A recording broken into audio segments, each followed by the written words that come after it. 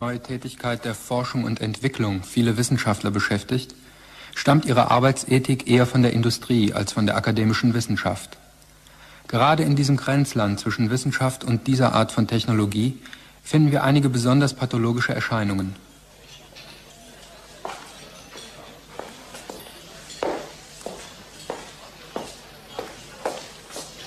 Tage, da geht gar nichts, aber auch gar nichts.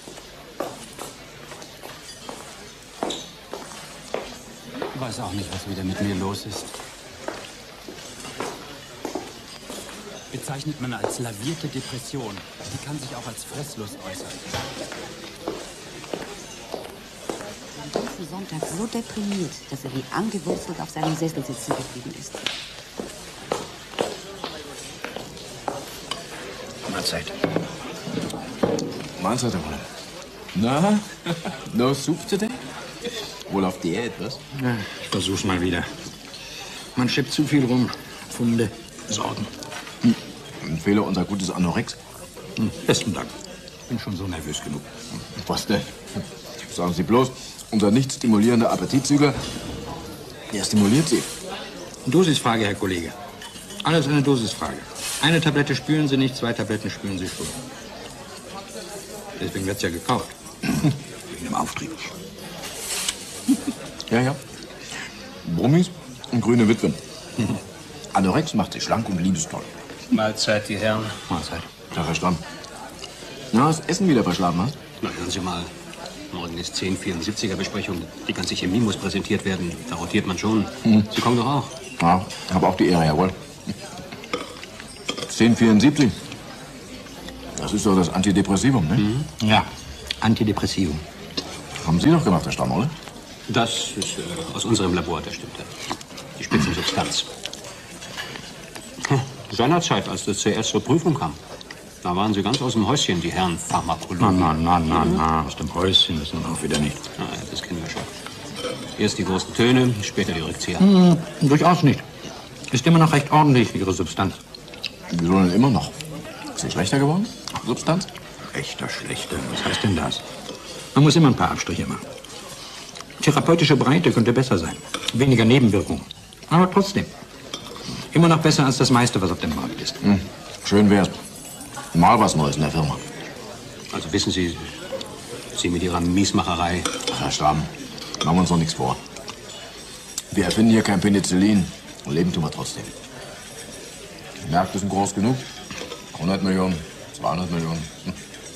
Da braucht man nur ein Händchen drin zu haben. Oder ein Füßchen. Schon 5 Prozent wären ein Traum. Bei Neuburg an der Donau hatte Descartes in der Nacht des 10. November 1619 einen lebhaften Traum, worin er einen Weg sah, Mathematik und Philosophie zu einer neuen Disziplin zu vereinigen. Goodyear arbeitete jahrelang an einem Verfahren, Gummi zu vulkanisieren. Der Erfolg kam, als er von einem Mann träumte, der ihm riet, Schwefel hinzuzusetzen. Nobelpreisträger Chent György antwortete auf die Frage, wo seine Forschungsideen entständen, in meinem Bett. Hier, die Radus für heute. In jedem Kasten ein oder zwei tot. Das macht das Klima. Dieser Stamm ist anfällig, gleich wegschmeißen. Wie weit sind Sie eigentlich mit Ihrem Elektroschmerztest? Das klappt jetzt gut. Heute kommen die ersten zehn Substanzen dran. Dieser Kurzschluss, den die durch ihren Urin gemacht haben, das passiert jetzt nicht mehr. Soll ich 1074 an der Anordnung auch noch mal prüfen? Na sicher. Ist das eigentlich was Originelles? Ich meine, 1074 ist, ist das ein neuer Stoff? Sicher? Im strengen Sinn ist der neu. Den gab's noch nicht, den Stoff. So wie es diese Ratte noch nicht gab. Wie? Wie eine Ratte? Oder besser eine bestimmte Promenadenmischung beim Hund. Natürlich richten die sich danach, was die anderen machen. Das ist das Normale. Man nimmt einen Stoff und modifiziert ein bisschen. Da einen neuen Schwanz, hier ein anderes Fleckenmuster, da eine neue Ohrform. Ach so. Ach so, und dann weiß man schon vorher, wie das so ungefähr wirkt. So ungefähr, ja. Aber Überraschungen sind immer möglich. Damals wollten wir die reine Wissenschaft. Tage und Nächte im Labor. Forscher, die vollkommen aufgingen in ihrem Gegenstand. Versenkung in einen einzigen Gegenstand. Eine Unordnung des Körpers bis an die Wurzel verfolgen. Sondieren. Faser um Faser. Im graublauen Licht sehr frühe Stunden. Durch Glas hindurch. Blickwechsel mit Assistentin. Weit offene Augen. Siehst du es auch? Siehst du, was das bedeutet? Na, ging's mit dem Unkristallisieren? Ja, schließlich ging's. Aus was? Acetonwasser. Die Substanz ist jetzt rein. Fast rein. Prima. Ausgezeichnet. So ist's recht. Sparen Sie nicht mit Lob, das motiviert Ihre Mitarbeiter. Was? Auch nichts weiter. Schramm, Was denn? wie weit sind Sie eigentlich mit dem 1074? Wann kommt das in die Klinik? Klinik. Keine Rede davon. Jetzt machen die erstmal chronische Tox. Drei Monate Verabreichung an zwei Spezies und dann. Die nehmen sich ja Zeit. Ist doch schon drei Jahre her. Konkurrenz gibt's keine, da kann man ja trödeln. Ach, wissen Sie, das ist ein leidiges Kapitel. Er wird aber auch richtig liegen. Das heißt doch immer, Tranquilizer braucht man, da wird das große Geld verdient. Naja, also das große Geld. Der Bedarf ändert sich wohl. Heute sind die Leute eher deprimiert, jetzt geht das wieder, jetzt kann man das wieder verkaufen. Wie testet man das eigentlich? Was? Ja, ein Antidepressivum. Wie testet man das? Ratten. Tetrabenazin-Ptosis. Tetrabenazin? Man spritzt Tetrabenazin, ja. Dann können die ihre Nickhaut nicht mehr oben halten. Und die fällt denen dann immer so halb übers Auge. Ja, das kenne ich auch. Und durch ein Antidepressivum wird es aufgehoben. So. Und was hat das mit einer Depression zu tun? Nichts. Irgendein Zusammenhang, den wir nicht kennen. Psychische Vorgänge bei Tieren. Messen Sie das mal. Das sieht man doch nicht. Sieht man ja kaum bei Menschen. Man muss was haben, was messbar ist. Das ist reine Empirie. Hat irgendeiner mal beobachtet, dass das mit der antidepressiven Wirkung zusammengeht. Und das ist dann die Basis für den Test am Menschen. So ist es, Frau Ude, so ist es. Jede spezialisierte Beschäftigung brachte nun, eben durch die Spezialisierung, ihre typisch berufsbedingten Körperfehler hervor. Schiefe Haltung, überentwickelte Muskeln, bleiche Hautfarbe, Kurzsichtigkeit, Herzerweiterung oder Staublunge mit den dazugehörigen Krankheiten und bleibenden Deformierungen. So, so sag ich. Dann denken also alle, dieser Gestank kommt von der Fischfabrik. clever, clever, sag ich. Nicht schlecht. Was machen Sie mit der ganzen Salzsäure, sag ich? Das müssen doch zig Tonnen Salzsäure sein, die dabei abfallen. Da sagt er, die Salzsäure? No problem. Die schicken wir ohne Schiff den Rhein runter. Das ist gut. Ohne Schiff den Rhein runter. Lieber Mann, wenn uns hier einer hören könnte. Morgen, meine Herren. Morgen, Morgen, Dr. Volker. Alles gute Dinge? Sie entschuldigen die Verspätung, da kam eine dringende Anfrage aus London.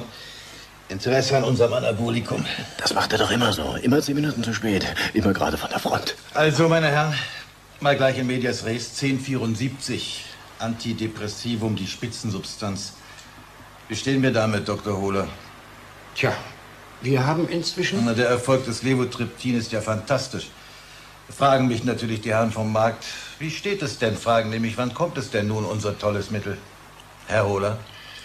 Wir müssen natürlich sorgfältig prüfen. Inzwischen sind wir so weit, dass die Hauptwirkung abgesichert ist. Und jetzt geht es durch die ganze Palette der Nebenwirkungen. Herz-Kreislauf, Lungenfunktion, Antikatecholaminwirkung. Na ja, gut, gut, gewiss. Muss ja alles eingehend wissenschaftlich. Ja, ja. wir machen Ethical Drugs. Aber reden wir mal Tachlis, Herr Hohler. Wie stehen wir da? Ist das Zeug stärker als Levotryptin? Die Substanz ist viermal. Meine Marketingleute sagen mir, wir müssen da schon Vorteile zeigen, sonst setzt man sich nicht durch. Vor einem Jahr hieß es noch stärker als Amitriptyl. Eine Substanz wie 1074, die sechsmal stärker ist als Amitriptyl, die hätte man mit Kusshand genommen, mit Kusshand. Jetzt heißt es schon Levotryptin. Herr Stramm, natürlich müssen wir uns am neuesten Stand ausrichten. Sehen Sie mal, die Herren vom Markt sagen mir immer wieder, stärker, besser, billiger. Solche Argumente brauchen wir für die Werbung. Sonst haben wir keine Chance, die Konkurrenz schläft nicht. Ja, eben, die Konkurrenz schläft nicht. Wir sind keine große Firma, Herr Dr. Volkert. Wir können nicht in einem Jahr nachholen, wozu die anderen fünf gebraucht haben. Na ja, nun, wenn wir das nicht schaffen, also. Man könnte auch was in Lizenz nehmen. Mit Lizenz? Ja, aber Herr Dr. Volkert, dann sollten Sie Ihre Forschung zumachen. Dann haben Sie Ihr Geld umsonst ausgegeben. Wenn Sie uns das Gebiet fünf Jahre bearbeiten lassen und dann holen Sie sich am Ende doch eine Lizenz Na, von nur, außen. nur beruhigen Sie sich. Zurzeit denkt daran ja niemand. Forschung gehört zum Image. Im Übrigen, warum die Kontroverse? Die Substanz ist doch ausgezeichnet, oder nicht? Herr Dr. Hohler? Tja, gegen Levotryptin. Unsere Substanz ist stark, sie ist viermal Amitriptin. Das war ja damals der Standard. Entschuldigen Sie, sagten Sie nicht seinerzeit, sie sei sechsmal stärker als Amitriptin? Sogar siebenmal, wenn ich recht erinnere. An bestimmten Tests war sie so stark, an anderen nicht. Solche Unterschiede sind ja noch in der Fehlerbreite. Also nageln Sie mich nicht fest, ob viermal oder dreimal Amitriptin. Was, was, also jetzt schon dreimal, also hören Sie mal, das sind doch Unterschiede. Ich meine, ob ich einem Praktiker sagen kann, wir sind siebenmal stärker oder dreimal. Ja, muss ich nun auch sagen, Herr Hohler. Werden wir denn immer schwächer? Sie als Naturwissenschaftler? Ich meine, exakt haben wir es denn nicht mit exakten Zahlen zu tun. Ist sie oder ist sie nicht? Versuche an Tiermaterial sind nie exakt. Das Tiermaterial. Ja, man ist ja auch nicht ein bisschen schwanger, ne? Das Tiermaterial ist ungleich in der Qualität. Oft Infektionen, dann das Wetter. Das Wetter macht sich bemerkbar. Wir, wir haben ja immer noch kein Aircondition. Verstehe vollkommen, Herr Hohler. Ihr Budget. Allerdings, Herr Dr. Volkert, mit diesem Budget. Im Übrigen gibt die Klinik den Ausschlag. Die Kliniker betrachten das ja doch alles nur als Anhaltspunkt. Richtig, Herr Fiebig? Ja, je zwei Dosen an zehn Versuchspersonen, da sehe ich mehr als aus allen Tierversuchen. Also mit anderen Worten. Mit anderen Worten, wir sind wieder mal deutlich schwächer als die anderen. Ne, ich wiederhole nochmal, die Klinik ist entscheidend. Wirkungsqualität, Faktoren wie Verträglichkeit. Na, halten Sie es für möglich, dass 1074 in der Klinik, also am Menschen, doch noch stärker wirkt als Levotryptin? Stärker, stärker, das ist nicht unbedingt das Entscheidende. Naja, ich meine, Äh, gibt es Fälle bei anderen Wirkstoffen, dass sie am Menschen stärker als am Tier? Äh, Gewiss, durchaus, sowas kommt vor. Nicht wahrscheinlich, aber es, es kommt vor. Also schön, meine Herren. Warten wir ab, was Dr. Fiebig am Menschen findet. Geben wir die Hoffnung nicht auf. Es gibt Hinweise, dass das Bild der Wissenschaft als einer schmutzigen Arbeit auch unter jüngeren Schülern verbreitet ist. In einer Befragung von 12- bis 13-jährigen Kindern, wobei relativ unstrukturierte Diskussionen gewählt wurden und Wortwiederholungen als Anzeiger von Urteilen dienten, ging der am meisten wiederholte Tenor 18% gegen 10% für den nächsthäufigen folgendermaßen. Vielleicht erfinden Sie gute Sachen wie Arzneien oder was anderes, was mir nicht einfällt, aber auch andere Sachen, die nicht sehr gut sind, wie Wasserstoffbomben. Was ist denn, Franz? Soll sein? Immer dasselbe. Bist du deprimiert? Ach, oh. Der Fied hat mich heute Morgen angerufen. Im Namen seines Chefs hat mich zur Sau gemacht. Und wieso? In der Besprechung 1074 habe ich dir doch erzählt. Ich hätte alles positiver darstellen sollen. Da sitzt das Whole Establishment, der Volkert, Fiebig, der Teichmann, der uns sowieso immer gern eins auswischt. Und Sie stellen sich hin und malen schwarz. Warst du wieder pessimistisch? Und fang du auch noch an. Pessimistisch. Die wollen bloß, dass ich die schlechten Werte weglasse und aus den guten das Mittel bilde. Das sind doch Ausreißer. Die verfälschen ihnen bloß die Statistik. Das ist doch unmöglich. Sowas hat doch mit Wissenschaft nichts mehr zu tun. Ärger dich doch nicht. Lass die doch meckern. Wissenschaft. Was willst du denn noch mit Wissenschaft? Du verdienst dein Geld und damit gut. Na, scheiß Geld. Wenn von Geld geredet wird, gleich wird gelacht. Alles ist froh, das versteht jeder. Herrgott nochmal. Damals wollten wir die reine Wissenschaft. Tage und Nächte im Labor. Forscher, die vollkommen aufgingen in ihrem Gegenstand. Versenkung in einen einzigen Gegenstand. Ich habe was anderes machen wollen. Ich habe Medizin studiert, Pharmazie studiert und dachte, es ist interessant, eine interessante Wissenschaft. Und außerdem machst du was Nützliches. Ja und? Stimmt doch auch. Du machst was Nützliches. Ach, woher? Mein Gott, Franz, seh's doch nicht so negativ. Was habt ihr nicht schon alles gemacht, wo du beteiligt warst? Ein Asthmamittel, ein Herzmittel. Und jetzt, was, was äh, gegen Depressionen? Das fünfte Asthmamittel, das zehnte Herzmittel, das zwanzigste Antidepressivum. Wir machen alles, was die anderen auch machen, nur deshalb. Me too heißt sowas in dem Geschäft. Ich auch. Ich will auch kassieren. Dann wird's nicht mal richtig geprüft. Herr Hohle, wir prüfen das so weit, wie vom BGA verlangt. Weiter nicht. Wir sind hier nicht bei Max Planck. Wir müssen rechnen. Ja, ja, ja.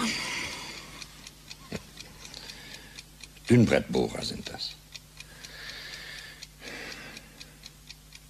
Und dafür soll ich gerade stehen. Das Lebenswerk des Dermatologen Unna war reinlich in jedem Sinne. So reichte die Skala seiner Vorhaben buchstäblich von der Sauberkeit der Begriffe in Nomenklaturfragen bis zur Sauberkeit der Hände durch die Entwicklung medizinischer Seifen. Herein. Ah, Herr Stein. Kommen Sie rein. Störe ich? Aber woher denn? Kommen Sie, ich nehme die Papiere da weg. So. Setzen Sie sich doch. Danke. Was kann ich für Sie tun? Ein Kaffee gefällig? Ja, sehr gerne. Ich habe gerade welchen aufgesetzt. Ha, Sie sind gerade am Quartalsbericht. Ja, weiß Gott. Eine Wühlerei ist das jedes Mal. 120 Datenblätter. Und das alles für einen Bericht, den sowieso keiner liest. Keiner liest? Nein, nein, nur übertreiben Sie mal nicht. Keiner. Wenn die was wissen wollen, lassen Sie sich's mündlich vortragen. Nehmen Sie Zuckermilch? Ja, beides.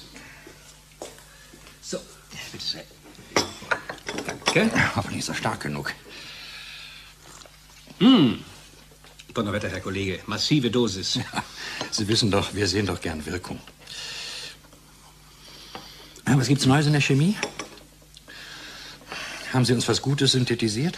Das auch. Sie kriegen bald was Neues. Ah, da sind ein paar Rosinen dabei. Aber ähm, ich wollte was anderes mit Ihnen bereden. Ich höre. Sagen Sie, die Verbindung 1196, 97 und 1221, hat sich da was Neues ergeben? Oh ja, ja, die sind beachtlich. Alle drei wesentlich stärker. Aber vor allem gegen 1074 mindestens die doppelte Breite. Aha, das haben wir uns was gedacht. Na und, werden Sie das jetzt in Ihrem Bericht erwähnen? Na, selbstverständlich, steht gleich vorne an. Warum?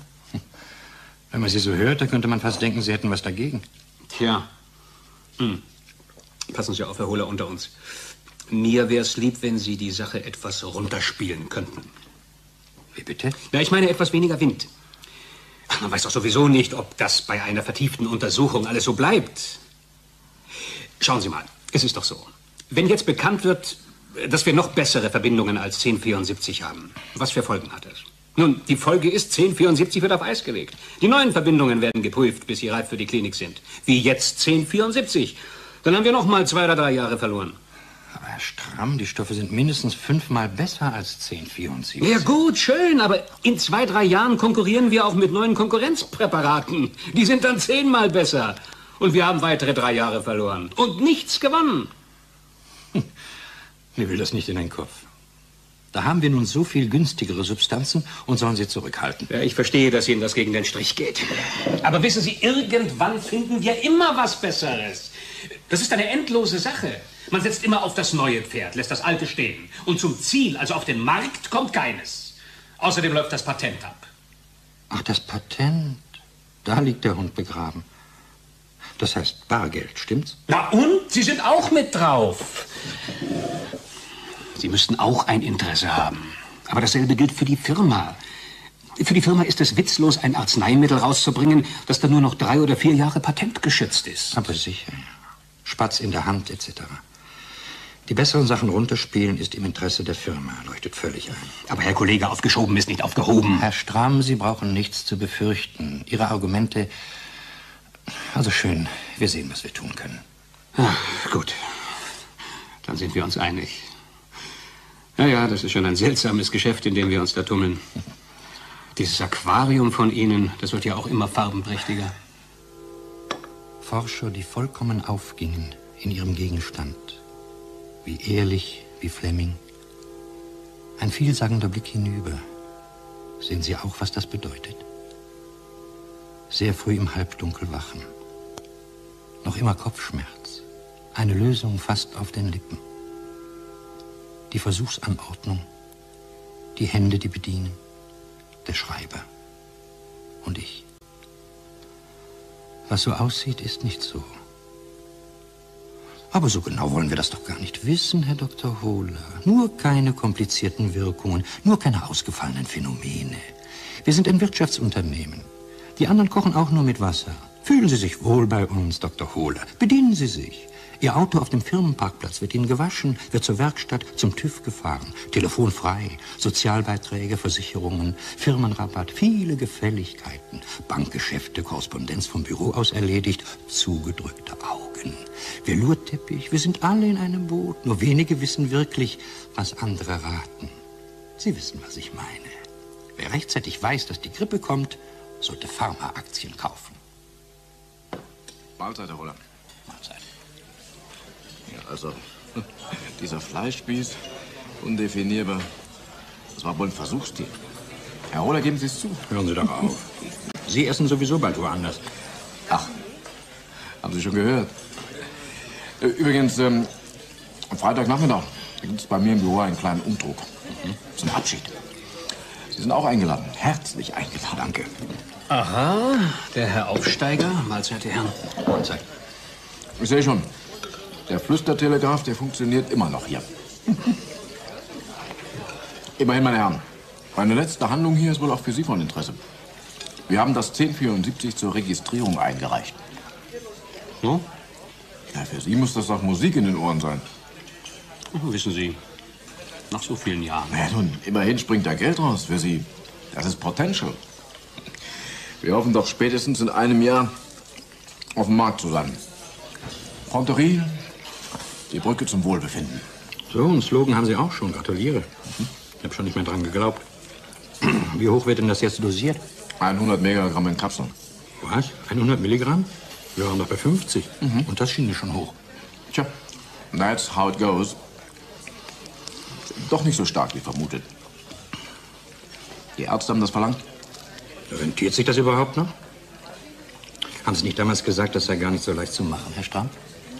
Das äh, geht jetzt besser. Wir haben einiges verbessert. Das Kilo kostet jetzt äh, 300 Mark. 300 Mark? Hört sich wirklich billig an. 10.000 Kapseln sind das und 300 Mark. Und in einer Packung sind 20 Kapseln. Das macht... No, Moment, halt, halt. So wird da nicht gerechnet. Erstmal gibt es da den Faktor, mit dem wird erst einmal alles multipliziert. Zurzeit liegt der zwischen 6 und 8. Dann haben Sie den Grossopreis. Also 8 mal 300. Wie- was, wieso denn? Na, hören Sie mal, der ganze Overhead, Verwaltung, Management, Vertrieb, nicht zuletzt die Forschung. Mhm. Auch Ihr Gehalt. Aber wieso ist das ein Faktor? Wenn ein Wirkstoff teurer ist, dann, dann wird doch deshalb ein Gehalt nicht höher. Das ist doch absurd. Nein, das ist Empirie. Die haben einfach irgendwann mal sämtliche Kosten durch die durchschnittlichen Wirkstoffpreise dividiert und haben das rausgekriegt. Und dabei bleibt. Lieber Gott, das sind ja Rechnungen. Wie beim Teppichhändler. Einkaufspreis multipliziert mit der Zahl der Kinder. So verkehrt liegen Sie da gar nicht. Teppichhändler. Hm. Was eigentlich gefordert wird, das ist der Preis, den der Markt hergibt.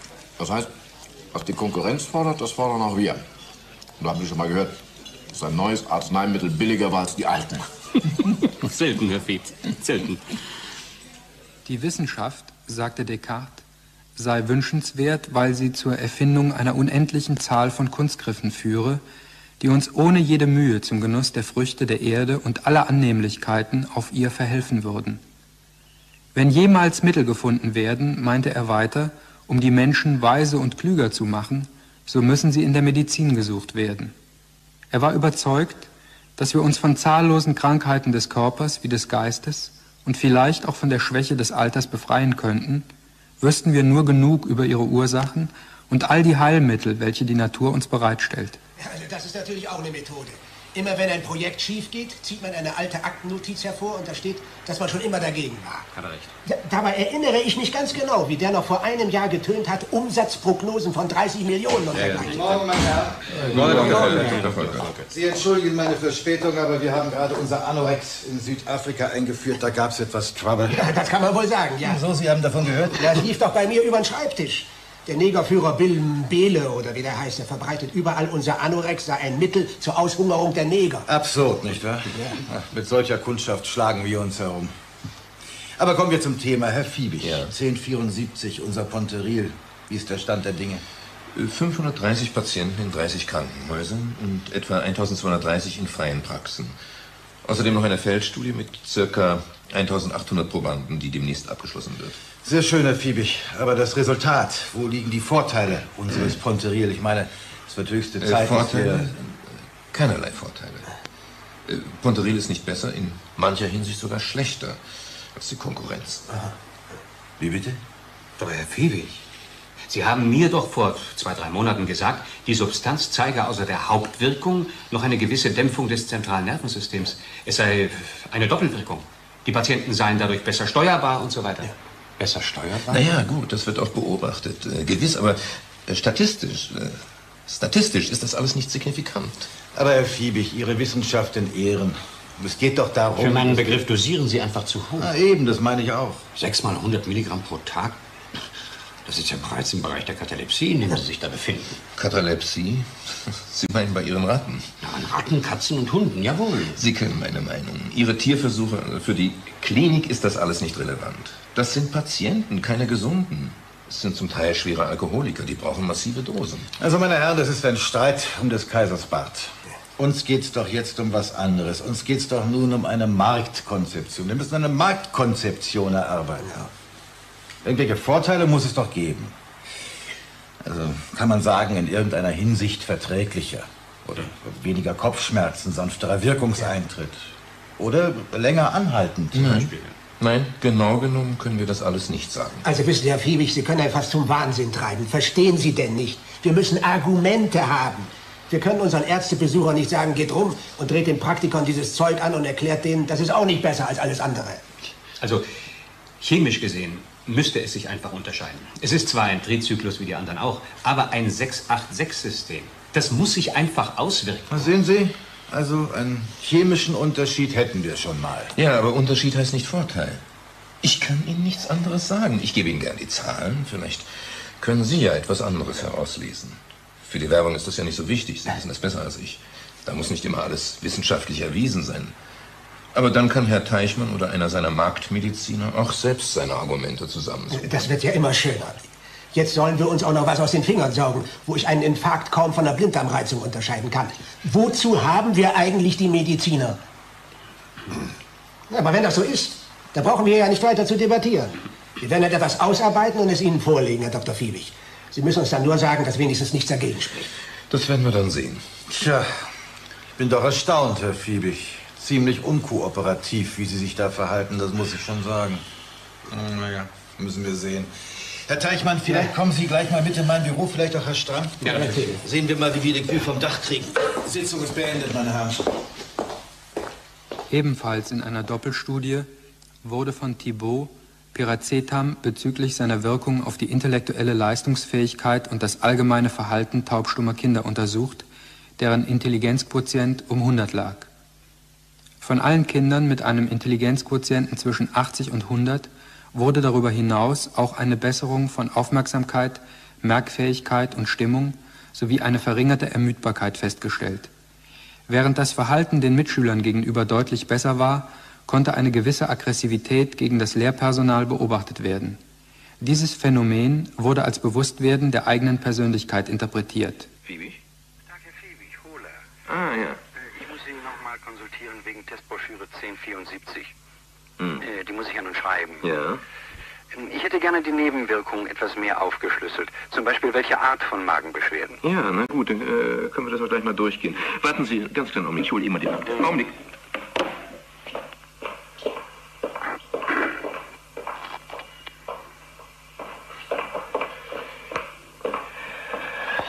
So, hier haben wir es. Also, Sie haben sicher die Nase voll von diesem Projekt. wieso? naja, wie Sie dann neulich auf die Hörner genommen worden sind. Ja, das ist alles halb so wild. Die Herren müssen auch mal was Unangenehmes ertragen. Na, mutig fand ich's doch, wissen Sie. Ach, papalapap. Doch, doch, da gehört schon was dazu. Ich meine, so sicher sitzt ja keiner auf seinem Stuhl. Hm? Wieso? Haben Sie was gehört? Nein, nein, nein, nein, gar nicht. Ach, äh, viele Leute haben ja eine Riesenangst um ihren Job. Leute, die es gar nicht nötig hätten. Ich, aber, ich meine, wir sind ja alle halbe Beamte. Die Angst, ja, ja. Ja. Wie kommt das nur? Naja, es ist eben so, so ein warmes Bett, das gute Geld. Man hat teure Gewohnheiten. Und die Familie hat teure Gewohnheiten? Ja, und all die kleinen Extras. Es ist ja gar nicht das Gehalt allein. Extras? Ja. Was meinen Sie? Na, denken Sie doch mal. Die vielen anderen Vorteile. Was Sie alles verbilligt kriegen. Ihr Reifen, Elektrogeräte, Wein. Sie können Ihr Auto pflegen lassen, können frei telefonieren, fotokopieren. Ja, ja, man Ja. vergisst das immer. Subtile Abhängigkeiten sind das. Oder, oder gar nicht so subtil. Ja, man könnte die Wut kriegen. Die Bankabteilung erledigt alle laufenden Zahlungen, Verpflichtungen. Die Sekretärin, die schreibt auch mal was weniger Geschäftliches. Tja, aber was soll man tun? Soll man das alles von sich weisen? Also hochethisch? Nein, aber. Aber man müsste sich frei halten. Ich, ich meine, äh, innerlich frei. Einfach tun, was man für richtig hält. Alles sagen. Schön wär's. Hm. Aber man ist unsichtbar angekettet. Es geht ja gar nicht um Mut oder, oder, oder, oder Klarsicht oder sowas. Wir sehen schon alles durch die Brille. Ja, man muss das schon. Sonst müsste man seinen ganzen Job in Frage stellen. Ja. Ja. Aber lassen wir mal das Philosophieren. Also, dann, äh, dann fragen Sie mal. Was wollen Sie denn jetzt wissen? Obgleich es die allgemeine Meinung ist, dass wir eine Nation von Pillenschluckern seien, sind historische oder vergleichende Studien, die das belegen könnten, kaum vorhanden. Ja, es gibt einige historische und soziologische Hinweise auf den Glauben, der vielleicht puritanischer Herkunft ist, dass Leiden adelt. Dass dieser Glaube noch lange nicht tot ist, spiegelt sich in der Popularität von Ivan Illich, der schrieb, Schmerzbeseitigung verwandelt uns in die fühllosen Beobachter unserer eigenen verrottenden Gesundheit. Hallo Helga, ich bin's. Ach du. Wieder 9 Uhr. Muss es denn immer so spät sein? Besprechung mal wieder. 1074. Ponteril, wie es jetzt heißt. Das ewige Thema. Ja, ja. Das ewige Thema. Du langweilst dich, aber hin gehst du trotzdem.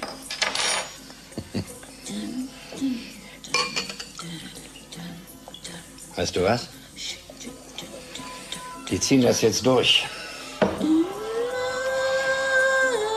Auf Biegen und Brechen. Da ist jetzt so viel Geld ausgegeben worden, heißt es. Wir können nicht mehr zurück. Ja, ja, ja.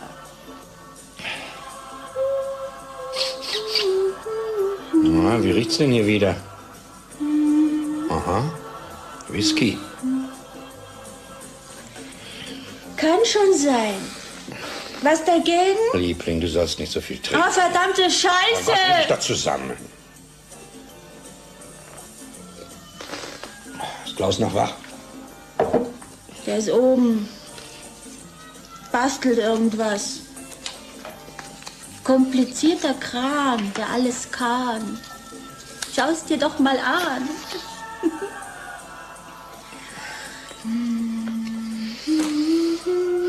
Was für Zustände.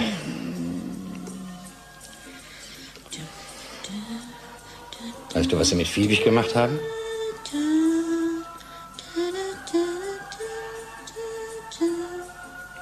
Phoebe? Das ist. Das ist Mediziner, ne? Ja. Habe ich dir doch erzählt, wie der bockig war vor einiger Zeit bei der Besprechung. Ja und? Schmeißen sie ihn raus? Woher? Da kommst du nicht drauf. Mach's mal nicht so spannend. Hm? Nase abschneiden oder. Hm? Nichts. Sie machen nichts, verstehst du? Er kriegt einfach nichts zu tun. Kein neues Arbeitsgebiet. Der sitzt in seinem Büro, Prüfung von Ponteril ist beendet, alles ist übergeben, Abschlussbericht etc. So. Und dann sitzt er da, dreht Däumchen. Die bezahlen den und geben ihm keine Arbeit? Ja, so ist es. ist komisch, ne? Ist fast wie bei mir. Was? Ja, das ist nur so ein Einfall. Also ich fände das so schlimm nicht. Irgendein Hobby hat doch jeder. Kann doch das machen. Nee, nee, nee, nee, nee, nee, nee.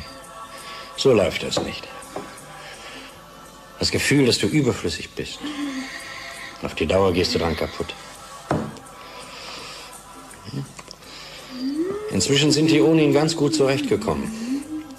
Einer von den Marktmedizinern hat einen flotten Vorteilskatalog aufgestellt. Ponteril gibt Auftrieb ohne Kater. Ponteril, wenn dem Leben die Würze fehlt. Ponteril nimmt das Grau aus dem Leben. Das klingt gut, ne? Wie ein Waschmittel. Meine Seele wird grau, wenn ich daran denke. Ja. Natürlich haben wir auch was davon. Wir kriegen Geld für das Patent. Noch mehr Geld.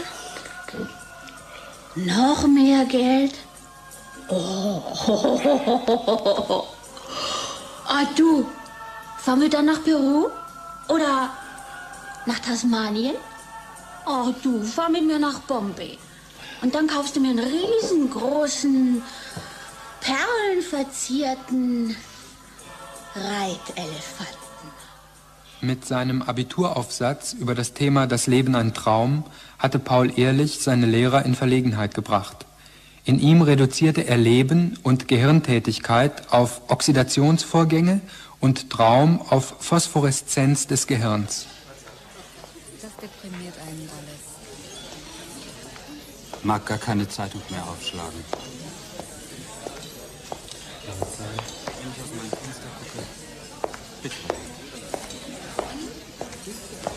Früher war ich wenigstens freitags mittags guter Laune.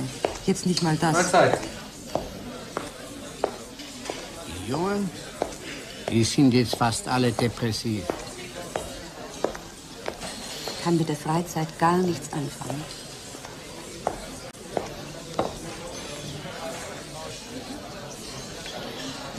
Schon wieder bald Winter, was Herr Stamm? Alles grau da draußen. Wie die Zeit vergeht. Von meinem Fenster aus sieht man das nicht. Haben Sie auch das Werbematerial gekriegt? Werbematerial? Ja, für Ponteril. Das kam heute bei mir an. Bei mir nicht. Na, wo wieder beim Chef hängen geblieben. Manches hält doch die Sekretärin nicht für geeignet für mich. Ich hab's mitgebracht, ich zeig's Ihnen gleich. Mhm. Wie lange ist das her? Acht Jahre? Neun Jahre? Was? Dass Sie uns die Substanz gegeben haben, zum Testen. Neun Jahre, fast genau. Ich erinnere mich, damals stand auch Weihnachten vor der Tür. Mhm. Inzwischen da haben wir Stoffe, die sind zehnmal, zwanzigmal besser. In der Schublade. Na ja, ich weiß. Nicht mal eine Lizenz kann man sie vergeben. Dass eine andere Firma was draus macht. Der Volkert erklärt einem, dann machen die uns unser eigenes Präparat kaputt. Naja, da ist schon was dran an dem Argument. Hören Sie mal, ist doch völlig verrückt. Wenn das möglich wäre, dann hätten wir das auch selbst entwickeln können. Verrückt ist manches bei uns. Schauen Sie sich doch selber an. Wie oft sagen Sie mir, Sie haben einen Wirkstoff geprüft? Einen handelsüblichen Wirkstoff. Und finden keine Wirkung. Stimmt's nicht? Ja, stimmt. Trotzdem wird verkauft. Ja, jetzt zeige ich Ihnen mal. Hier. Broschüre Nummer 1. Ja, prachtvoll. Mhm. Ponteril, die Brücke zum Wohlbefinden. Ein schönes Bild. Das ist wohl die Rheinbrücke bei Köln, was? Rheinbrücke bei Nacht. Unter Sternen. Heimat, deine Sterne. Und das denn? Lassen Sie mal sehen. Oho. Tief abstrakt und hochsymbolisch. Hellblauer Pfeil steigt aus dem Dunkel auf. Aus der Tiefe rufe ich zu dir. Raketen, Raketen. Das ist schon Kunst. Ponteril, das Hochgefühl. Da wacht direkt der Dichter in einem. Es geht weiter, man schenkt uns die Romantik. Ganz feucht graugrün. Ist das nicht zum Schmelzen? Rauchzartes Mädchen wartet durchs Taugras. Ja, macht Sie das nicht stolz und glücklich? Was haben Sie da aus Ihrem Glaskolben herausgekocht? Jawohl. da ist nicht gespart worden. Zehntausend Rappen sterben für diesen Tag der göttlichen Heiterkeit. Und alles Kunstdruck. Elastopappe mit Seidenstruktur. Mhm. Glanzvoll mit Probestreifen und Musterkarte. Per Asparat Astra. Hm. Hat es sich nicht gelohnt, Herr Kollege? Ponteril ist Glück am Stiel. Würde ich mir sofort kaufen, wenn ich es nicht selber gemacht hätte. Wissen Sie was? Hm? Wenn ich mir das so angucke, da kriege ich Lust, mir so eine Pille einzuwerfen. Wie wär's, wenn wir die Probepackung mal vernaschen, Herr Kollege? Wollen wir uns in den Äther erheben? Nachschub haben wir ja genug im Labor. Irgendwann muss man es ja wagen. Also, Daumen drauf auf die moderne Durchdrückpackung. Gib es mal her. Ach was. Mal gleich zwei. Irgendwann müssen wir ja mal ausbaden, was wir da gemacht haben. Hm? Wie ein hellblauer Pfeil aus dem tiefgelben Dunkel. N-Methylaminopropyl, Dibenzodiazozin. Ah, wird meine Alte staunen, wenn ich so angetönt aus dem Büro komme. Und dann packe ich sie mir gleich ein in meinen Aktenkoffer und dann geht's los nach Tasmanien. Nach Fidschi und Rangoon. How deep is the ocean, how high is the moon. Nur noch genießen, nie mehr was tun. Was haben wir der Menschheit da geschenkt? Hallo! Ja, Weltgenießer! Ja, Schmalz- und Kannengießer! Schluckt alle mit! Keiner drückt sich! Niemand darf wegen seines Geschlechts, seiner Abstammung, seiner Rasse, seiner Klasse, seiner Kasse, seiner Frisur, seiner Hautleiden, seiner Intriganz, seiner Lamoyanz, seines Bungalows, seines Wasserklos wegen bevorzugt oder benachteiligt werden. Hören Sie, bevorzugt oder benachteiligt benachteiligt. Weder noch, gar nichts. Was für Witze. Mit Ponteril wären wir rechte Subsiditätsbolzen. Bolzano. Mechano. Bechamelkartoffeln.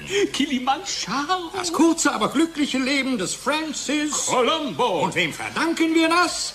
Brecht 30 Knochen übers Knie, ein Dreifach hoch der Industrie. Denn dieses Knie wird abmontiert, wird abgeführt, wird Wurst beschmiert und, und strotzt vor Energie. Wie sich das alles beschleunigt. Endlich geht's vorwärts. Wo sind Sie, Herr Kollege? Hier oben auf dem Schrank. Passen Sie auf, schön gerade halten. Was sehen Sie? Weit, weit gelb, gelb und alles nach oben offen. Schön. Komme gleich nach.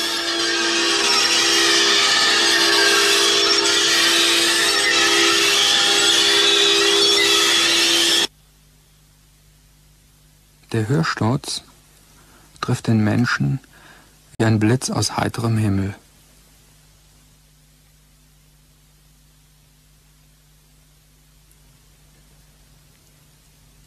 Das war in Bayern 2 als Wiederholung das letzte große Hörspiel von Walter E. Richards. Spitzensubstanz. Hörspiel des Monats im September 1980. Eine Produktion des Bayerischen Rundfunks mit dem Hessischen Rundfunk und dem Sender Freies Berlin. Unter der Regie von Walter Adler waren Dr. Hohler und der Chemiker Dr. Stramm, Harald Leibniz und Reinhard Glemnitz, Dr. Fiebig, der Forschungsmediziner, wurde von Herbert Bötticher gesprochen. Dr. Volkert und Dr. Fied waren Gerd G. Hoffmann und Manfred Seipold. Der Vertriebsleiter Teichmann wurde von Helmut Stange gesprochen. Frau Gresch, medizinisch-technische Assistentin, und Frau Ude, die Laborantin, waren Helga Anders und Christiane Hammacher. Frau Hohler war Ilse Neubauer, die Zitate sprach Walter Adler. Ton und Schnitt Heinz Sommerfeld und Renate Leucht. Aufnahmeleitung Hans Eichleiter. Aber so genau wollen wir das doch gar nicht wissen, Herr Dr. Hohler. Nur keine komplizierten Wirkungen, nur keine ausgefallenen Phänomene. Wir sind ein Wirtschaftsunternehmen. Die anderen kochen auch nur mit Wasser. Fühlen Sie sich wohl bei uns, Dr. Hohler. Bedienen Sie sich. Ihr Auto auf dem Firmenparkplatz wird Ihnen gewaschen, wird zur Werkstatt, zum TÜV gefahren. Telefonfrei, Sozialbeiträge, Versicherungen, Firmenrabatt, viele Gefälligkeiten. Bankgeschäfte, Korrespondenz vom Büro aus erledigt, zugedrückte Augen. Velourteppich, wir sind alle in einem Boot. Nur wenige wissen wirklich, was andere raten. Sie wissen, was ich meine. Wer rechtzeitig weiß, dass die Grippe kommt, sollte Pharmaaktien kaufen. Mahlzeit, Herr Roller. Ja, also, Dieser Fleischspieß, undefinierbar. Das war wohl ein Versuchstier. Herr Hohler, geben Sie es zu. Hören Sie doch auf. Sie essen sowieso bald woanders. Ach, haben Sie schon gehört? Übrigens, ähm, am Freitagnachmittag gibt es bei mir im Büro einen kleinen Umdruck. Mhm. Zum Abschied. Sie sind auch eingeladen. Herzlich eingeladen. Danke. Aha, der Herr Aufsteiger. Mahlzeit, die Herren. Mahlzeit. Ich sehe schon. Der Flüstertelegraph, der funktioniert immer noch hier. Immerhin, meine Herren, meine letzte Handlung hier ist wohl auch für Sie von Interesse. Wir haben das 1074 zur Registrierung eingereicht. So? Ja, für Sie muss das doch Musik in den Ohren sein. Wissen Sie, nach so vielen Jahren. Na ja, nun, immerhin springt da Geld raus für Sie. Das ist Potential. Wir hoffen doch spätestens in einem Jahr auf dem Markt zu sein. Ponterie, die Brücke zum Wohlbefinden. So, einen Slogan haben Sie auch schon. Gratuliere. Ich habe schon nicht mehr dran geglaubt. Wie hoch wird denn das jetzt dosiert? 100 Megagramm in Kapseln.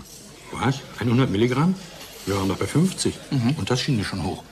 Tja, that's how it goes. Doch nicht so stark wie vermutet. Die Ärzte haben das verlangt. Rentiert sich das überhaupt noch? Haben Sie nicht damals gesagt, das sei gar nicht so leicht zu machen, Herr Strahm? Ja, Das äh, geht jetzt besser. Wir haben einiges verbessert. Das Kilo kostet jetzt äh, 300 Mark. 300 Mark? Hört sich wirklich billig an. 10.000 Kapseln sind das und 300 Mark. Und in einer Packung sind 20 Kapseln. Das macht... No, Moment, halt, halt, halt. So wird da nicht gerechnet. Erstmal gibt es da den Faktor, mit dem wird erst einmal alles multipliziert. Zurzeit liegt der zwischen 6 und 8. Dann haben Sie den Grossopreis. Also 8 mal 300. Was, wie- wieso denn? Na, hören Sie mal, der ganze Overhead, Verwaltung, Management, Vertrieb, nicht zuletzt die Forschung. Auch Ihr Gehalt. Aber wieso ist das ein Faktor? Wenn ein Wirkstoff teurer ist, dann, dann wird doch deshalb ein Gehalt nicht höher. Das ist doch absurd. Nein, das ist Empirie. Die haben einfach irgendwann mal sämtliche Kosten. Gleiche Hautfarbe, Kurzsichtigkeit, Herzerweiterung oder Staublunge mit den dazugehörigen Krankheiten und bleibenden Deformierungen. So, so sag ich. Dann denken also alle, dieser Gestank kommt von der Fischfabrik. clever, clever, sag ich. Nicht schlecht. Was machen Sie mit der ganzen Salzsäure, sag ich? Das müssen doch zig Tonnen Salzsäure sein, die dabei abfallen. Da sagt der, die Salzsäure? No problem. Die schicken wir ohne Schiff den Rhein runter. das ist gut. Ohne Schiff den Rhein runter. Lieber Mann, wenn uns hier einer hören könnte. Morgen, meine Herren. Morgen, Morgen, Dr. Volker. Alles gute Dinge. Sie entschuldigen die Verspätung, da kam eine dringende Anfrage aus London. Interesse an unserem Anabolikum. Das macht er doch immer so. Immer zehn Minuten zu spät. Immer gerade von der Front. Also, meine Herren, mal gleich in Medias Res 1074. Antidepressivum, die Spitzensubstanz. Wie stehen wir damit, Dr. Hohler? Tja, wir haben inzwischen... Na, der Erfolg des Levotriptin ist ja fantastisch. Fragen mich natürlich die Herren vom Markt. Wie steht es denn? Fragen nämlich, wann kommt es denn nun, unser tolles Mittel? Herr Hohler? Wir müssen natürlich sorgfältig prüfen. Inzwischen sind wir so weit, dass die Hauptwirkung abgesichert ist. Und jetzt geht es durch die ganze Palette der Nebenwirkungen. Herz-Kreislauf, Lungenfunktion, Antikatecholaminwirkung. Na ja, gut, gut, gewiss. Muss ja alles eingehend wissenschaftlich. Ja. Wir machen Ethical Drugs. Aber reden wir mal Tachlis, Herr Hohler. Wie stehen wir da? Ist das Zeug stärker als Levotriptin?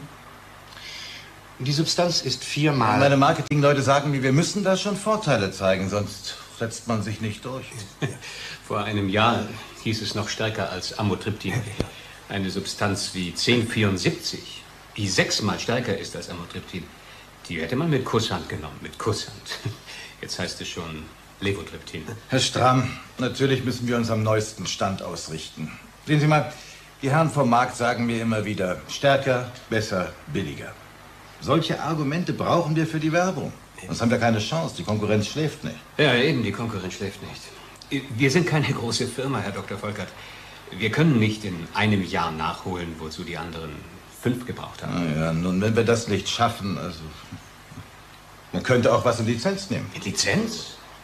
Ja, aber Herr Dr. Volkert, dann sollten Sie Ihre Forschung zumachen. Dann haben Sie Ihr Geld umsonst ausgegeben. Wenn Sie uns das Gebiet fünf Jahre bearbeiten lassen und dann holen Sie sich am Ende doch eine Lizenz Ja, von außen. nun beruhigen Sie sich. Zurzeit denkt daran ja niemand. Forschung gehört zum Image. Im Übrigen, Warum die Kontroverse? Die Substanz ist doch ausgezeichnet, oder nicht? Herr Dr. Hohler? Tja. Gegen Levotryptin. Unsere Substanz ist stark, sie ist viermal Amitriptin. Das war ja damals der Standard. Entschuldigen Sie, sagten Sie. So ist's recht. Sparen Sie nicht mit Lob, das motiviert Ihre Mitarbeiter. Was? Auch nichts weiter. Strahm, Was denn? wie weit sind Sie eigentlich mit dem 1074? Wann kommt das in die Klinik? Klinik. Noch keine Rede davon. Jetzt machen die erstmal chronische Tox. Drei Monate Verabreichung an zwei Spezies und dann. Nehmen sich ja Zeit. Ist doch schon drei Jahre her. Konkurrenz gibt's keine, da kann man ja trödeln. Ach, wissen Sie, das ist ein leidiges Kapitel. Er wird aber auch richtig liegen. Das heißt doch immer, Tranquilizer braucht man, da wird das große Geld verdient. Naja, also das große Geld. Der Bedarf ändert sich wohl. Heute sind die Leute eher deprimiert, jetzt geht das wieder, jetzt kann man das wieder verkaufen. Wie testet man das eigentlich? Was? Also ein Antidepressivum. Wie testet man das? Ratten. Tetrabenazin-Ptosis. Tetrabenazin? Man spritzt Tetrabenazin, ja. Dann können die ihre Nickhaut nicht mehr oben halten. Und die fällt denen dann immer so halb übers Auge. Ja, das kenne ich auch. Und durch ein Antidepressivum wird es aufgehoben. So. Und was hat das mit einer Depression zu tun? Nichts. Irgendein Zusammenhang, den wir nicht kennen. Psychische Vorgänge bei Tieren. Messen Sie das mal. Das sieht man doch nicht. Sieht man ja kaum bei Menschen. Man muss was haben, was messbar ist. Das ist reine Empirie. Hat irgendeiner mal beobachtet, dass das mit der antidepressiven Wirkung zusammengeht. Und das ist dann die Basis für den Test am Menschen. So ist es, Frau Ude, so ist es. Jede spezialisierte Beschäftigung brachte nun, eben durch die Spezialisierung, ihre typisch berufsbedingten Körperfehler hervor. Schiefe Haltung, überentwickelte Muskeln, bleiche Hautfarbe, Kurzsichtigkeit, Herzerweiterung oder Staublunge mit den dazugehörigen Krankheiten und bleibenden Deformierungen. So, so sag ich. Dann denken also alle, dieser Gestank kommt von der Fischfabrik. clever, clever, sag ich. Nicht schlecht. Was machen Sie mit der ganzen Salzsäure, sag ich? Das müssen doch zig Tonnen Salzsäure sein, die dabei abfallen. Da sagt er, die Salzsäure? No problem. Die schicken wir ohne Schiff den Rhein runter. das ist gut. Ohne Schiff den Rhein runter. Lieber Mann, wenn uns hier einer hören könnte. Morgen, meine Herren. Morgen, Morgen, Dr. Volker. Alles gute Dinge.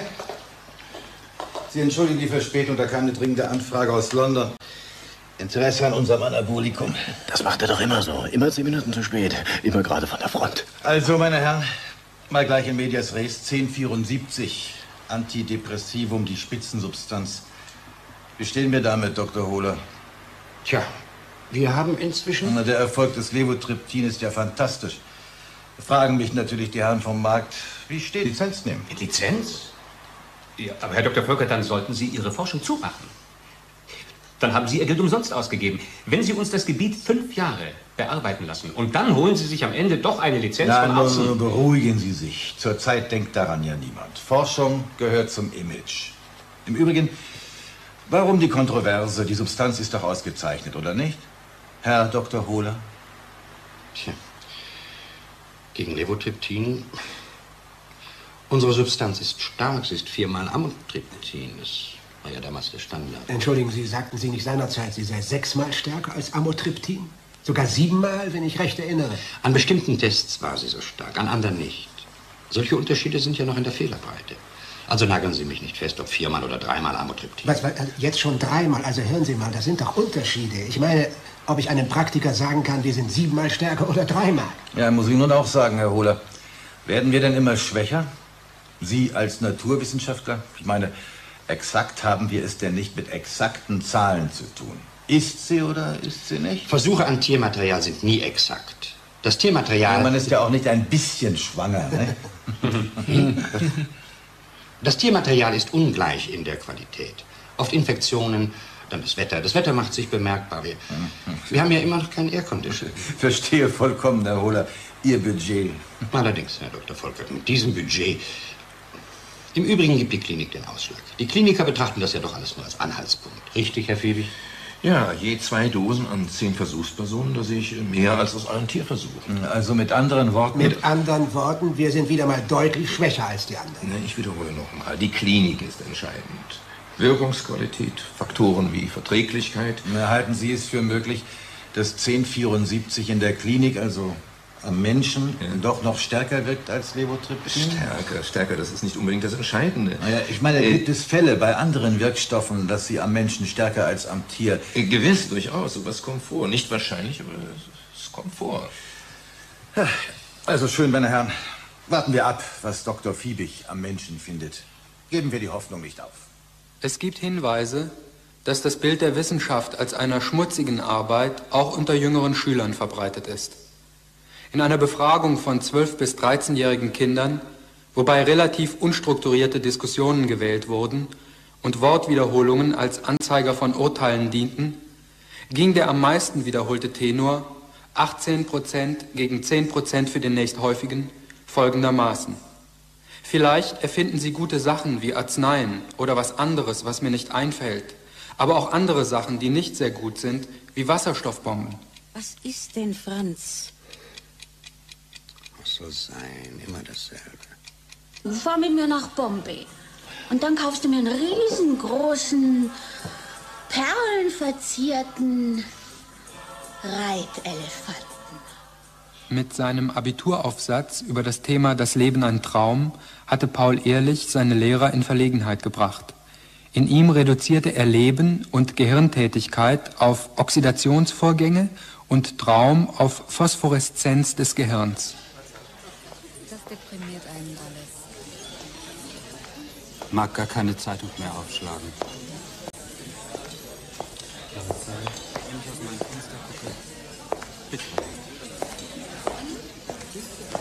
Früher war ich wenigstens freitags mittags guter Laune.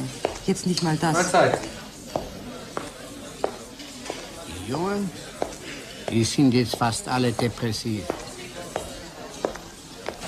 Kann mit der Freizeit gar nichts anfangen.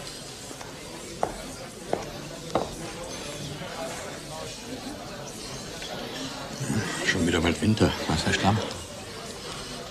Alles grau da draußen. Wie die Zeit vergeht. Und von meinem Fenster aus sieht man das nicht. Haben Sie auch das Werbematerial gekriegt? Werbematerial? Ja, für Konterie. Das kam heute bei mir an. Bei mir nicht. Wo wieder beim Chef hängen geblieben. Manches hält doch die Sekretärin nicht für geeignet für mich. Ich hab's mitgebracht, ich zeig's Ihnen gleich. Mhm. Wie lange ist das her? Acht Jahre? Neun Jahre? Was? Dass Sie uns die Substanz gegeben haben, zum Testen. Neun Jahre, fast genau. Ich erinnere mich, damals stand auch Weihnachten vor der Tür. Mhm.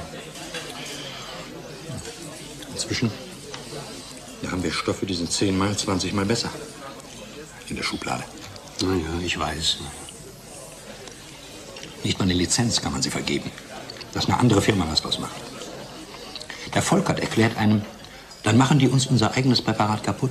Naja, da ist schon was dran an dem Argument. Na, hören Sie mal, ist doch völlig verrückt.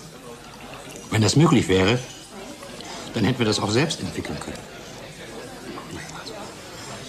Verrückt ist manches bei uns. Schauen Sie sich doch selber an. Wie oft sagen Sie mir, Sie haben einen Wirkstoff geprüft? Einen handelsüblichen Wirkstoff. Und finden keine Wirkung. Stimmt's nicht? Ja, stimmt. Trotzdem wird verkauft. Ja, jetzt zeige ich Ihnen mal. Hier. Broschüre Nummer 1. Ja, prachtvoll. Mhm. Boah, das stimmt ja. Die Spitzensubstanz. Seinerzeit, als das zuerst zur Prüfung kam, da waren Sie ganz aus dem Häuschen, die Herren Pharmakologen. Na, na, na, na, na, aus dem Häuschen ist nun auch wieder nicht. Na, das kennen wir schon. Erst die großen Töne, später die Rückzieher. Hm, durchaus nicht. Ist immer noch recht ordentlich, Ihre Substanz. Wieso denn immer noch? Ist sie schlechter geworden? Substanz? Echter schlechter. Was heißt denn das? Man muss immer ein paar Abstriche machen. Therapeutische Breite könnte besser sein. Weniger Nebenwirkungen. Aber trotzdem. Immer noch besser als das meiste, was auf dem Markt ist. Hm. Schön wär's. Mal was Neues in der Firma. Also wissen Sie, Sie mit Ihrer Miesmacherei. Ach, Herr Stamm, machen wir uns doch nichts vor. Wir erfinden hier kein Penicillin. Und leben tun wir trotzdem. Die Märkte sind groß genug. 100 Millionen, 200 Millionen. Hm. Da braucht man nur ein Händchen drin zu haben. Oder ein Füßchen.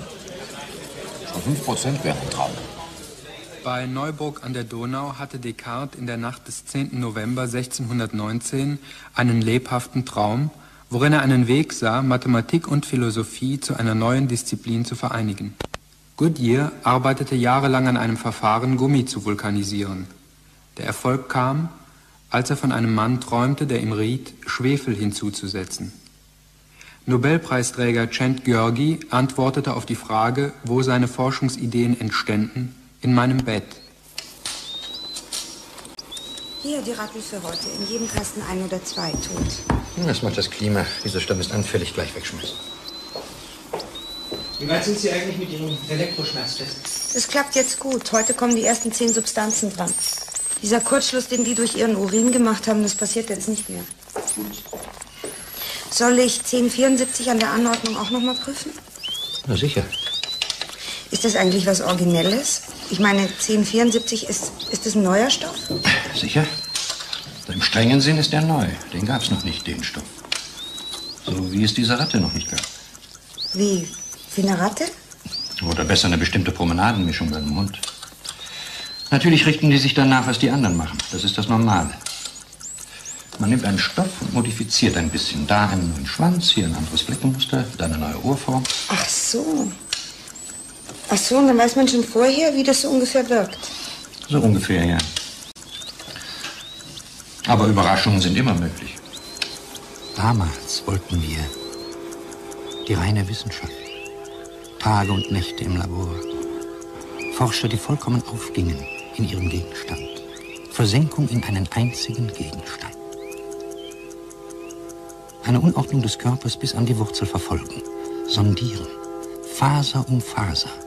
Im graublauen Licht sehr frühe Stunden. Exakt. Das Tiermaterial. Ja, man ist ja auch nicht ein bisschen schwanger, ne?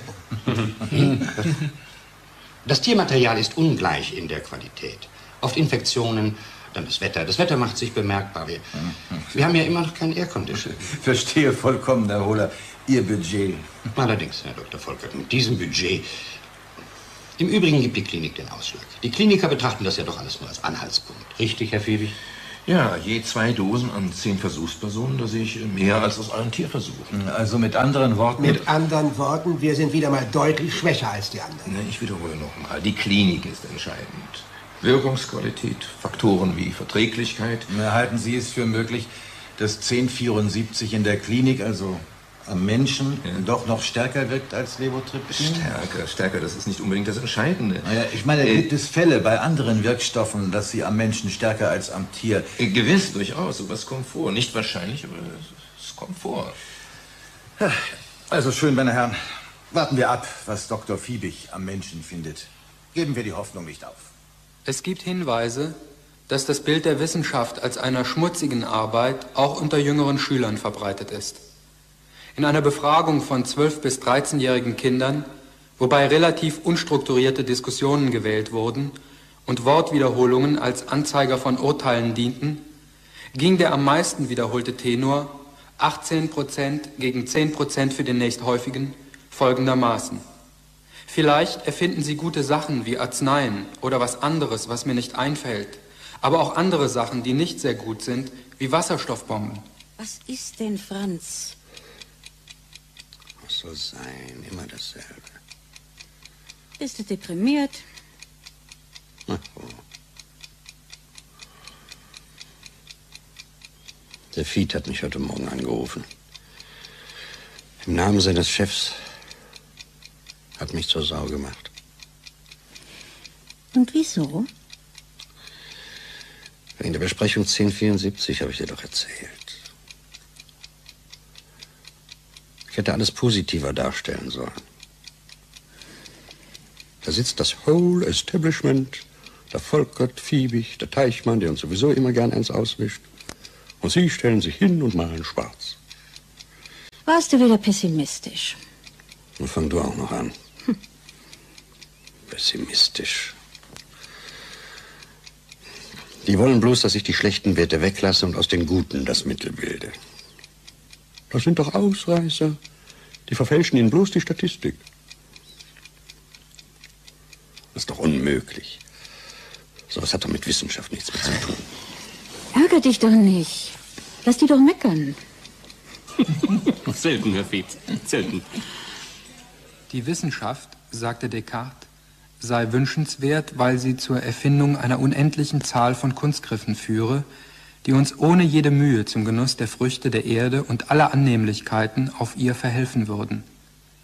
Wenn jemals Mittel gefunden werden, meinte er weiter, um die Menschen weise und klüger zu machen, so müssen sie in der Medizin gesucht werden. Er war überzeugt, dass wir uns von zahllosen Krankheiten des Körpers wie des Geistes und vielleicht auch von der Schwäche des Alters befreien könnten, wüssten wir nur genug über ihre Ursachen und all die Heilmittel, welche die Natur uns bereitstellt.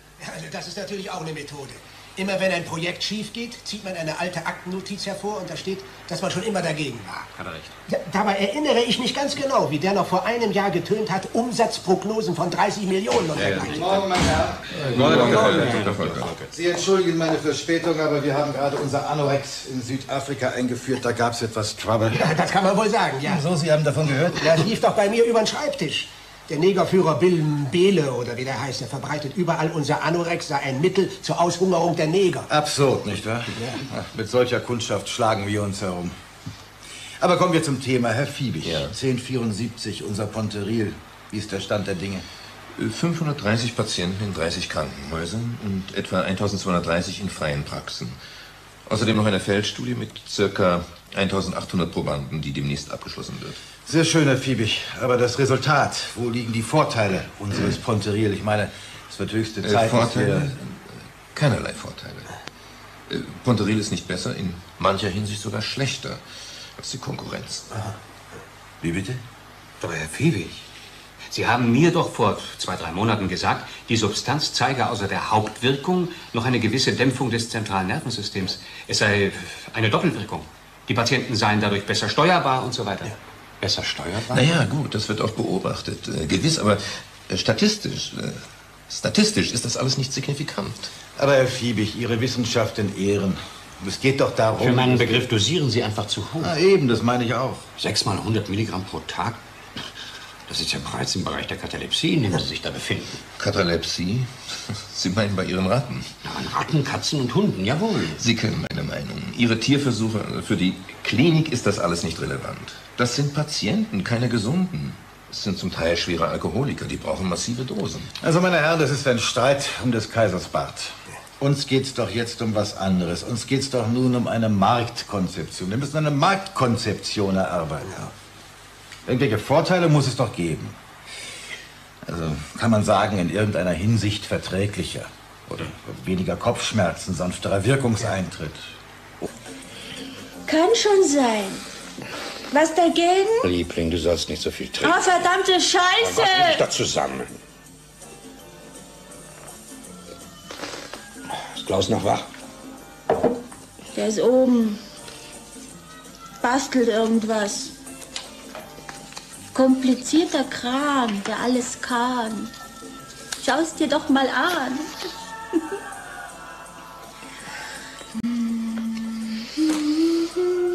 Was für Zustände.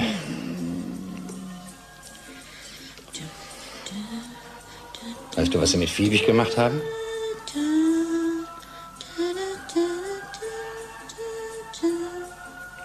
Phoebe? Das ist. Das ist Mediziner, ne? Ja. Habe ich dir doch erzählt, wie der bockig war vor einiger Zeit bei der Besprechung. Ja und? Schmeißen Sie ihn raus? Woher? Da kommst du nicht drauf. Mach's mal nicht so spannend. Hm? Nase abschneiden oder. Hm? Nichts. Sie machen nichts, verstehst du? Er kriegt einfach nichts zu tun. Kein neues Arbeitsgebiet.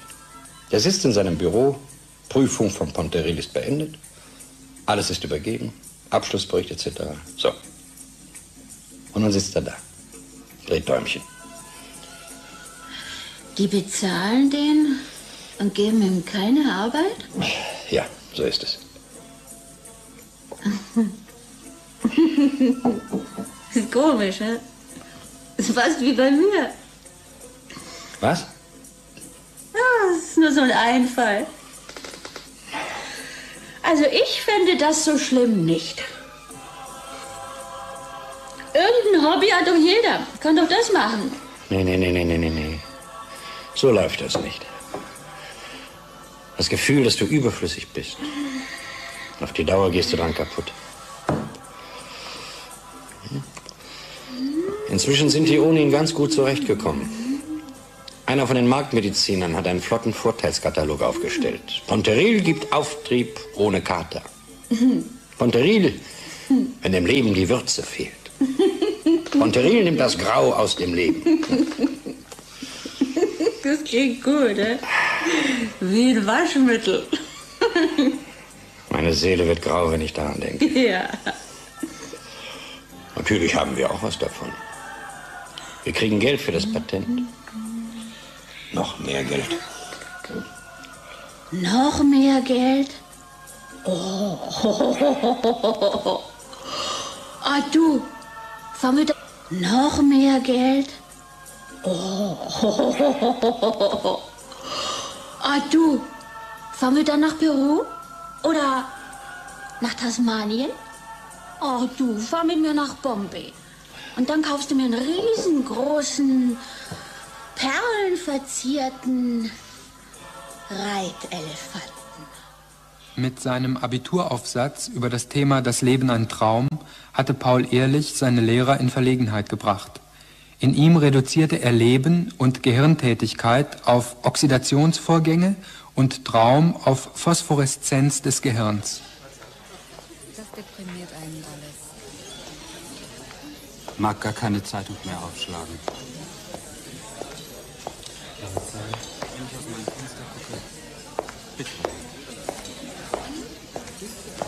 Früher war ich wenigstens freitags mittags guter Laune.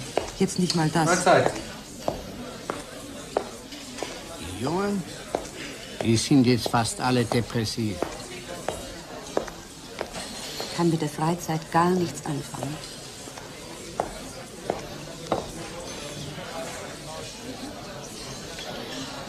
Schon wieder bald Winter, was, Herr Schlamm? Alles grau da draußen. Wie die Zeit vergeht. Von meinem Fenster aus sieht man das nicht. Haben Sie auch das Werbematerial gekriegt? Werbematerial? Ja, für Ponteril. Das kam heute bei mir an. Bei mir nicht. Na, wo wieder beim Chef hängen geblieben. Manches hält doch die Sekretärin nicht für geeignet für mich. Ich hab's mitgebracht, ich zeig's Ihnen gleich. Mhm. Wie lange ist das her? Acht Jahre? Neun Jahre? Was? Dass Sie uns die Substanz gegeben haben, zum Testen. Neun Jahre, fast genau. Ich erinnere mich, damals stand auch Weihnachten vor der Tür. Mhm. Inzwischen da haben wir Stoffe, die sind zehnmal, zwanzigmal besser. In der Schublade. Na ja, ich weiß. Nicht mal eine Lizenz kann man sie vergeben. Dass eine andere Firma was draus macht. Der Volkert erklärt einem, dann machen die uns unser eigenes Präparat kaputt. Naja, da ist schon was dran an dem Argument. Hören Sie mal, ist doch völlig verrückt. Wenn das möglich wäre, dann hätten wir das auch selbst entwickeln können. Verrückt ist manches bei uns. Schauen Sie sich doch selber an. Wie oft sagen Sie mir, Sie haben einen Wirkstoff geprüft? Einen handelsüblichen Wirkstoff. Und finden keine Wirkung. Stimmt's nicht? Ja, stimmt. Trotzdem wird verkauft. Ja, jetzt zeige ich Ihnen mal.